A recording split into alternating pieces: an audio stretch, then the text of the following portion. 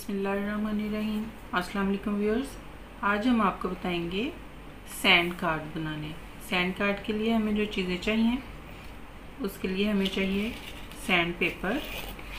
Easily market से मिल जाता है। Chart paper, scissor, pencil. और ये सैंड पेपर इसके ऊपर इस तरह होता है जैसे सैंड लगी जिस तरह रेग मार होता है इस किस्म टाइप का होता है ये। तो ये बच्चों की असेस करने के लिए कि उन्हें कोई चीज़, कितनी समझ आ गई है उसकी शेप उस चीज़ के लिए ये यूज़ होता है। इस कार्ड को कैसे बनाते हैं, हम आपको बताते हैं। जी, सबसे पहले हमने स्टेंसिल्स बना लेने हैं कार्डबोर्ड को कट करके। उसके ऊपर पूरे फोनिक्स और नंबर्स अली पे पूरी जो है वो कट करके हमने इस तरीके से ये अपने पास रख लेने हैं। ये जी। तो इसको इस तरीके से सैंड पेपर के ऊपर रखना है और इसको ड्रॉ कर लेना है।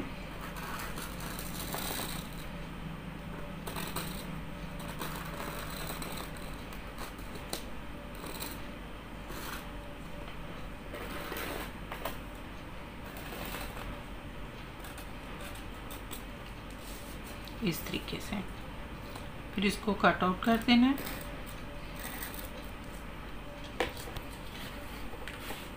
ये हमने ट्रेस करने के बाद इसको कट कर लिया है। ये चार्ट पेपर का पीस है, छोटा सा हमने कट किया। इसके ऊपर हमने ग्लू अच्छे से लगा के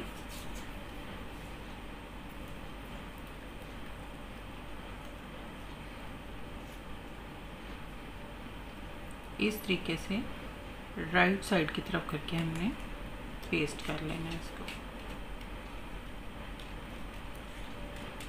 इस तरीके से। जी, इसी तरह से हमने नंबर्स अल्फ़ाबेट्स और हर्फ पेस्ट कर लेने हैं सारे कार्ड्स के ऊपर। ये मैं आपको दिखाती हूँ। तरीके से हमने ये कार्ड बना लिए हैं, ये सारे फोनिक्स के। ये अलिफ पे और ये हमारे पास नंबर्स ये बच्चों को असेस करने के लिए ये कार्ड आपके लिए बहुत हेल्प करते हैं। इसको इस्तेमाल करने का तरीका ये है कि बच्चे को जब हमने एक कोई चीज़ सिखा ली है तो बच्चों को ब्लाइंड फोल्ड करके हमने ये कार्ड उनके आगे रखना है और उनको कहना कि इस साइड पे अपना हाथ रखें और इधर अपनी जो है वो फिंगर के साथ इसको महसूस करें कि ये क्या है। अगर बच्चे को शेप अच्छे से याद होगी तो वो फ़ौर पहचान लेगा ज़ीरो या इस तरीके से से से के ऊपर तीन नुकते, वो जब इसको यूँ महसूस करेगा फ़ौरन उसके माइंड में इसकी शेप आएगी और वो आपको बताएगा।